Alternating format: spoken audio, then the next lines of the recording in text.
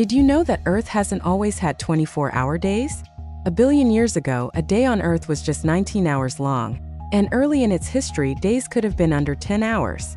The moon's tidal pull slowly slowed Earth's spin, stretching our days to what they are now. Earth's rotation tells the story of ancient cosmic collisions, shaping the world we know today. So next time you check the clock, remember, time itself is a record of Earth's incredible journey through space.